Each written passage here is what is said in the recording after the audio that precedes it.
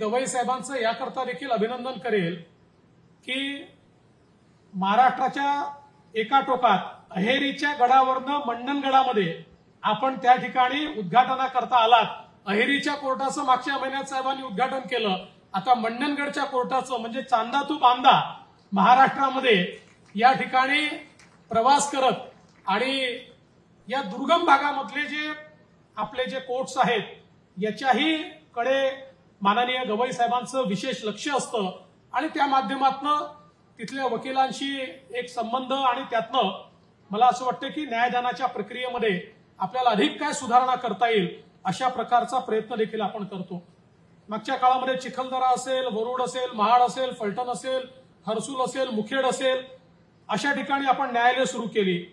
आणि वेगवेगळ्या प्रकारे न्यायालयाचं जे इन्फ्रास्ट्रक्चर आहे यावर्षी आपण जवळपास आठशे कोटी रुपयाचा निधी हा या इन्फ्रास्ट्रक्चर करता दिलाय.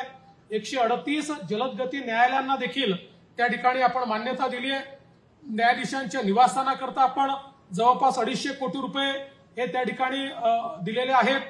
कौटुंबिक न्यायालयाची नव्याने निर्मिती आपण करतोय.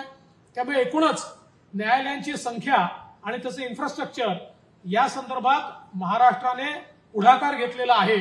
आणि सातत्याने चीफ मिनिस्टर चीफ जस्टिस ही जी बैठक होते या बैठकीत झालेले सगळे निर्णय हे महाराष्ट्रामध्ये त्या ठिकाणी अंमलात आणण्याचा कार्यक्रम किंवा प्रयत्न हा आम्ही करत असतो आणि त्यातनं न्यायदानाची प्रक्रिया अधिक वेगवान होण्याचा प्रयत्न आपला असतो.